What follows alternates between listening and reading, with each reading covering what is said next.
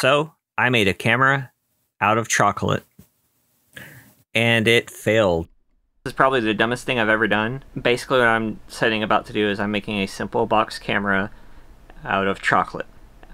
Mom always said life was like a box of chocolate. Click the link at top if you want to catch up on the previous episode of Chocolate Camera. But in short, I made a pinhole box camera out of chocolate, like tempered chocolate.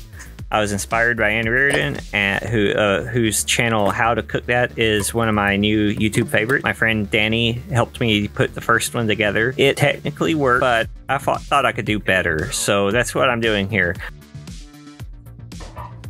Danny wasn't able to help this time, so I enlisted a food processor newly acquired to help grate the chocolate into small bits to make it easier to melt. This was much faster, although my dogs did not approve, as you saw.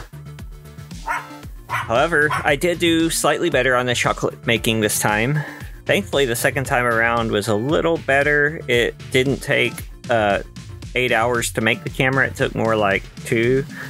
It was still difficult, but I planned a little bit more, measured a little bit better, melted the chocolate a bit more, so it was easier to work with, which was definitely a plus. I even cut something resembling templates, although I should have done a little bit better. However, I measured these squares out to roughly 6x6, which would come in very important down the road. I used a piece of cinefoil for the shutter this time, made sure to make a much smaller hole, which as it turns out, for what I was trying to shoot, is still a little bit too small. But its first test drive was at a shoot at Alex and Afton Vintage in Tyler, now in Dallas when you watch this, or just about to be in Dallas, I should say.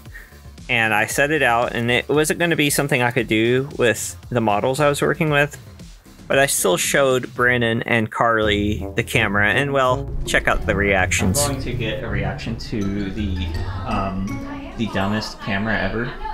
I, I did this project I'm doing for my vlog. I'll, I'll get your reaction. Okay. okay. You don't have to like act super excited because it's pretty dumb. a fully functional chocolate camera. Oh my god. Oh, Oh my god. How'd you do that? Wow, that's crazy. hey, I have the dumbest camera ever. I uh, I have been watching this baking channel too much, and I made a fully functional chocolate camera. What? A camera Yeah. out. Like it, like you can shoot with it. Are you serious? Yeah, it's a pinhole camera. That's crazy. so I made a chocolate That's amazing. I know. I was like, how would you even think? it's, Yeah. it's That's I very love creative. the chocolate and I do sheets and stuff and build things with it. Yes. Like, Do you ever watch like the big chocolate eggs? Yeah. And they like crack them like Oh yeah. There's like layer and layer. Layer. Yeah. Yeah, there's this uh, YouTube channel.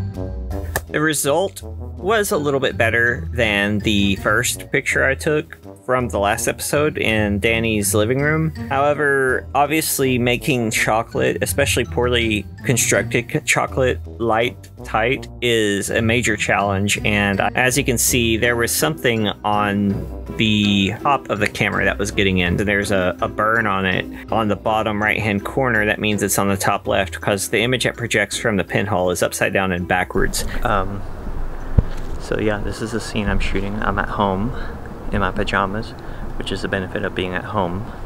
So, I've already metered this, and I'm estimating it's hard to see. Uh, hard to see in this light. Rev 32, it says it would register for 30 seconds on the shrubbery.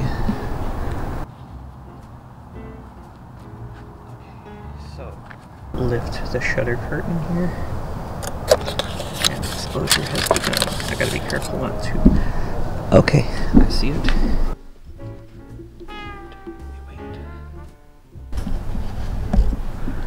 Who knew that chocolate canning would be such a difficult thing? Hope if I had mastered pinhole photography, but I didn't.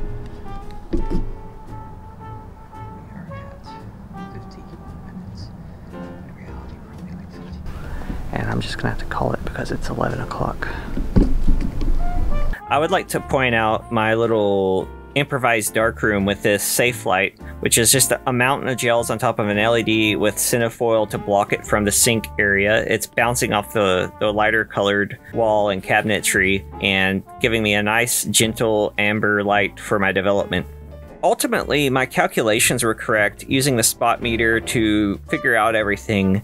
My ultimate failure was that I majorly underestimated my pinhole, but it was actually probably closer to F300 something. And when you're getting up that high, you basically double your amount of light every time you enlarge by an f stop. So basically, if you're exposing something for an hour at f32, and then you really needed to expose it at f64, then you need to be shooting for two hours. And if you need to go to F128 from there, then we're talking four hours. You see where we're going? It should have been like a six hour exposure, maybe eight hours that first night. And it was pretty dark except for the deer lights. Anyway, so what it comes down to is that the distance your pinhole is from your film plane on a pinhole camera is your focal length. So this one is six which meant it was roughly about 120 millimeters. Uh, at that size, uh, at, at that distance, uh, the ideal aperture I read was somewhere around f300 or whatever. It was what I first made it. And it, that's, we're talking, you need to do a daylight exposure or you need to leave it out all night. And I wasn't going to leave a box of chocolate in my backyard all night because who knows what would have happened to that. I, I didn't want to waste all the chocolate. I, I'm eating this thing, okay? So, what we come down to is the ultimate moral for me of this chocolate camera saga, which is that I did not really get a good photo from this camera. I got some interesting photos, and I certainly proved that you could make a camera out of a box of chocolate, but or a box made of chocolate. But ultimately it was about the learning experience because I had used pinhole cameras and I had done them very simplistically. I really didn't pay attention to a lot of the details that go behind them. I just knew basically how to make them and how to get quick exposures and like daylight conditions and stuff like that. But this was a, a more of an, an advanced pinhole thing, and or you know, relatively speaking. And so I had to really sit down and think about what I was doing. And even though I missed every shot essentially, of course I I choose the most challenging path like every time.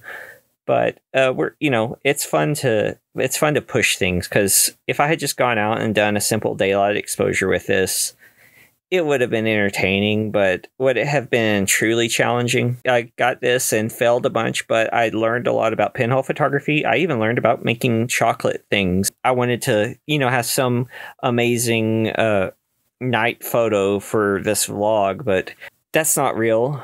You, you want to see how to do things and you want to see how to be a better photographer when you watch stuff on YouTube, usually, or you want to learn something that will help you and this is something that will help you if you will go out and do the work and suck a lot. It, even if you don't get an immediate good result, it's going to pay off down the road. You're going to learn a lot.